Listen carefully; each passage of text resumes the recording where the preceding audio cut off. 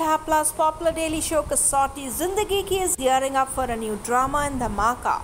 Anurag and Mr. Bajaj's challenge. Prerna turns a trophy. Anurag is super irked to see how Mr. Bajaj and Prerna are getting closer.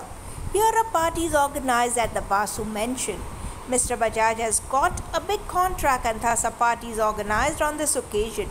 Mr. Bajaj is happy that Prerna is doing so much for him and appreciates her and even does whatever she wants. Prerna and Mr. Bajaj are now asked by friends to dance together and they come for close dance which is not liked by Anurag.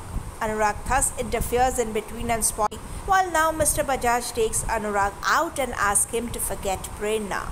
While Anurag challenges Mr. Bajaj to snatch away Prerna from him, Anurag and Mr. Bajaj thus had this challenge where Prerna has turned a trophy for them. Keep watching our channel TV Primetime for more such exciting updates and upcoming twists.